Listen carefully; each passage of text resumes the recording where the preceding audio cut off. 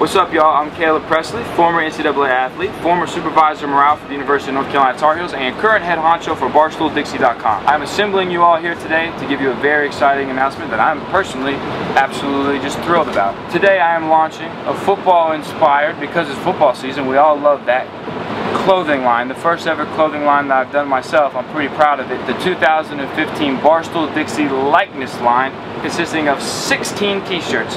That's right, you heard it, 16. 15 of them are like just like random, creative, artistic abstractions that I've kind of just came to me over the course of this Barstool Dixie tour I'm on right now. You're gonna say to this, with, the, with 15 of them, you're gonna say, Caleb, I know those look very similar to some very famous athletes. And this is what I'm gonna say to you. No, they might look similar, but no, that's not them.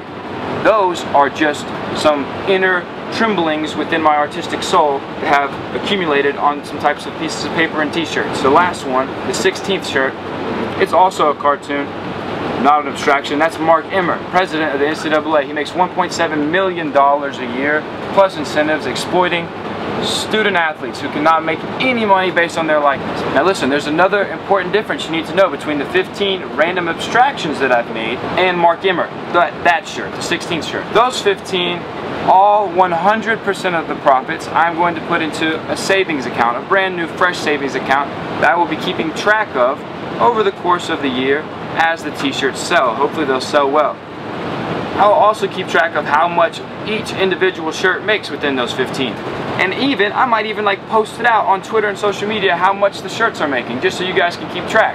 But I'm gonna save that money, and I, since I'm a charitable guy, or I'm working to be one, in one year, two years, three years, or even if it's four years, I'm gonna give all that money away. The only reason I'm not doing it now is one, I don't have it yet, and two, I don't know who the right people to give it away to is. Like, I want to give to someone who I feel like deserves it, but I can't really figure out right now in my mind exactly who it would be that would deserve that money. Now listen to this. On the other hand, we have the Mark Emmert shirt. That, that profits, all 100%, will also go into an account. That account is my personal checking account. And you know what I'm to do with that? Spend it on whatever I want. Mark Emmert is cool with me doing it. You know how I know? Because he does it all the time. He does it every single day. He makes money based on other people's likeness. So I think he's going to be perfectly okay with me doing it. And honestly, he might write me a thank you letter because I'm going to be like on the same board of doing the same type of thing he's doing. When it's all said and done, y'all, it's just t-shirts. It's 16 t-shirts. I hope you like them. I hope you buy them. I hope you wear them. I hope you stand for the cause that's behind them.